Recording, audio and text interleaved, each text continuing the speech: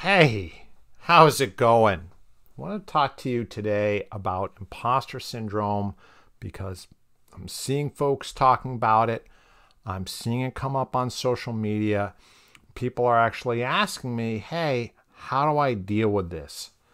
Um, and I want to make a video to really try to find the best way for you to empower yourself as a creative person to move forward.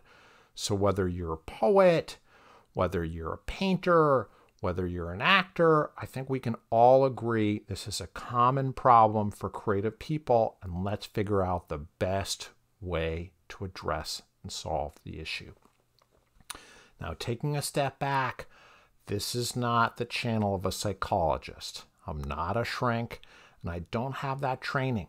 So, if you need help and you're struggling with something, you need to get professional assistance, which I can't provide. Similarly, if you want the expertise of a psychologist, you're not going to get that here. So I recommend you go ahead and you power off the video right now if that's what you're looking for. But if you want help as a creative person, let's do this. All right. So I know that uh, I'm not a shrink, but I do also know that if you look up imposter syndrome in the DSM, which is the manual shrinks use when they're looking for possible diagnoses, you're not going to find it. That doesn't mean it's not a real issue. It just means it's not something like depression. It's not something like schizophrenia. Um, it's a different type of issue. It's more of a cognitive type of thing, or perhaps something that people discuss and frame their own struggles around. Now, when I Googled about it, it seems like it's big conversation among celebrities. And I was surprised to find that the actor Tom Hanks has struggled with this in his career, which is super surprising because, you know, Steven Spielberg puts him in movies. So it's like, well, how does that work? I took a step back and I thought about it and I realized, well, actors are a really great example for us because actors, their job is to manufacture emotions for their audience. And they do that in front of a camera or they do that um, on the stage. And they their job is to convince us that things that they're that they appear to be feeling are real. Now, whether they feel those things themselves is something uh, you know, uh, beyond my expertise, I think great actors really do feel the things that they are trying to evince. And that's part of the technique. But at the end of the day, it's a manufactured feeling. We can all agree um, when uh, Tom Hanks is stranded on a desert island in the movie, he's not really stranded on a desert island. He's making us believe that that's something that's happening. This goes way, way back to the origins of drama and this kind of catharsis that all great art can give us this feeling of kind of emotional crisis and then uh, recovery. It goes back to Greek drama because they wore these masks over their faces. The actors, when they appeared on stage in these masks, the Greek word for them is persona. And then that's handed down into our psychological discourse today of a persona as a, type of public face that we put on or we share in the world. Uh, similarly, poets were at the scene of the crime here with the genesis of theater. Um, and we, we were uh, also have a similar job to actors in that we want to convince people of our emotions and truths in a form of writing that is not the same as a um, nonfiction essay or an opinion piece. We are using the tools of emotions and imagery and things like that, uh, and of, of music to convince people of truths um, that um, are indirect. Uh, they're not factual truths, they're, they're truths about the nature of art and, and feeling and human relationships. They're valuable, um, but they're more akin to the type of truths we experience in theater than the type of truths we experience in math class. Um, also, musicians are in the same category, I would say. Um, so, uh, if you are familiar with your Plato, you know that in, that in Plato's Republic, he singled out the poets as the special problem um, where he would like to get rid of them because of this ability to deceive. And it sounds sort of quaint today, but if you think about it really, um, is amazing to think of a philosopher considering the implications of what poetry could do and saying that this could potentially be a threat. And indeed, if you look at dictatorships, it often is the poets who are being rounded up and thrown in the gulag. So, returning to the Tom Hanks issue, which is what we're here to discuss, we're going to say we have this this guy. He's paid big bucks to appear in movies. Uh, critically, you might not like all of his movies. You might find him boring or whatever. Who knows? But generally, there's going to be this broad critical consensus among people who are students of theater who could say his real acting skill is here. But he felt about himself, he felt here. So that's kind of a head scratcher again, but I mean, he is again at the end of the day from Plato the Plato perspective, he's paid to deceive. So it's understand under, understandable um, when we pay someone these big bucks to get up there and, and essentially deceive us that he could feel on some level conflicted. Now I don't know, you know, I'm not a shrink. Again, I'm just speculating that these types of problems are real and, and could arise. Um, and you know, even if you're not paid the big bucks, you might you might feel artificial or you, you might feel conflicted about what you're doing.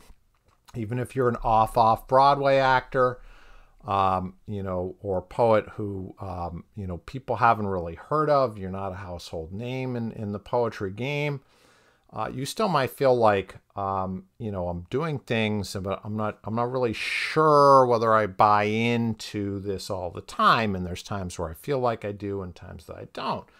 Go all the way down to the kind of the true amateur level, and people still might have these types of conflicted feelings that are kind of small town players, um, or people who just do do uh, make art um, or music in their free time um, for their friends and family uh, who still might have these feelings that it's like, well, am I an imposter for doing this?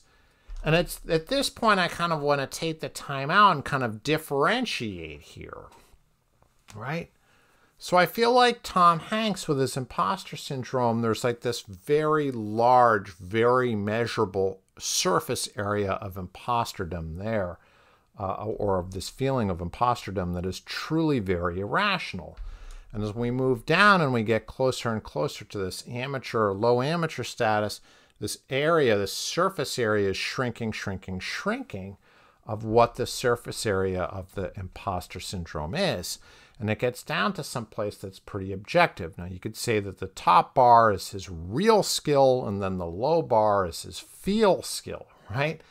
And as these two get closer and closer together, I think this imposter syndrome starts to miss a lot of uh, explanatory power.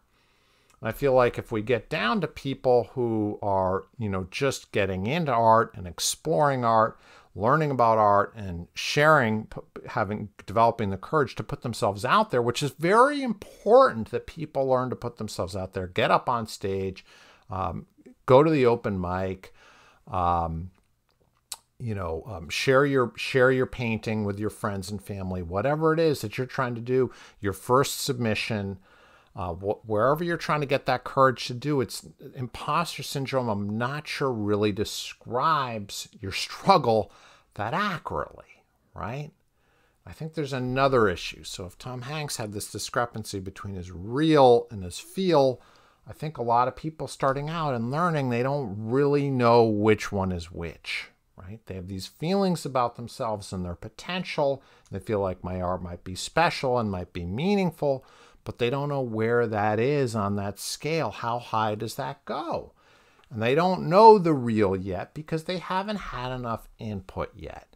And they haven't had enough opportunity to gain feedback and really develop their own taste and their own ability to analyze their work objectively. Which gets to my next step, right? So, folks who are developing their resources as artists need to learn how to unplug from the perceptions of others, which has nothing to do with feeling like an imposter. This is just a basic thing we as creative people need to take ownership of. We need to be able to benchmark our work not completely objectively, but according to our own standards of what's important to us. So if I'm reading a poem of mine and I'm comparing it to the poetry of other people too much, it's not helping me. Be more productive for me to look at poetry that I've written last week or three months before or a year ago and start to compare there to my own production. Then I can start to establish am I making the progress that I would like to make? And I think if you're making progress day on day, week on week, month on month, year on year, everything's going fine. You can relax. You can get back into your own skin and trust the process. Now, if you don't know, if you're looking at your stuff and you're like, I have no idea. I don't know if I'm making progress or not. I can't understand whether my work is good or not. Then I think you're a little bit, you've lost the plot a little bit. And that's the time where it's key for you to get help and input. You need to hire someone. If you're a musician, you need to hire a, um, a, a music teacher okay? A, a vocal coach or whatever it is, a guitar teacher. And if you're an actor, you need to go and you need to you need to take some acting classes and you need to be around other people so you can start to understand how you actually perform on stage. If you're a poet, you need to go to a workshop or you need to hire an editor or hire someone like me who can give you feedback on where you're at and how you're doing. Right? I can be your poetry coach if that's the service that you need. But you need to take input and you need to start to be able to understand where your work is right now. Again, not completely objectively, but at least start to get some tangible idea so you can approach your own work um, not from this kind of uh, fog of war effect, but to start to make day on day, week on week plans on how to improve.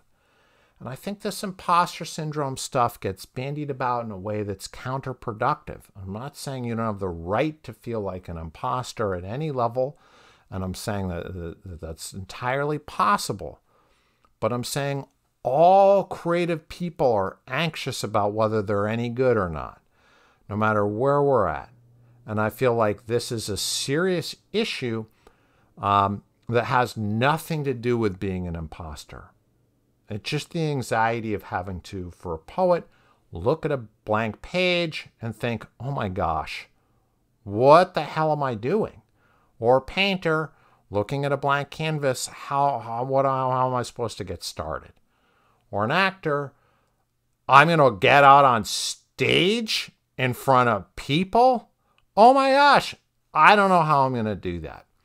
And I think it's not productive to introduce this additional complexity of whether you're an imposter or not, because so much of what we do is inherently, to, for better for worse, trying to manufacture or create feelings in other people. We're going to present, to a certain extent, a persona. I think it's useful and productive for you to get comfortable with the idea that you're projecting yourself. This is part of the job, it's part of the skill set. Okay?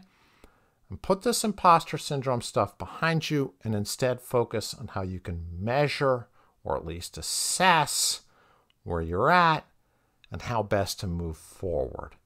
That's the way you're going to have the most productive engagement with your discipline. Thank you so much. Hope this helped. Please subscribe if it does. Always trying to put out some fresh perspective and fresh content for you. Thanks for joining me.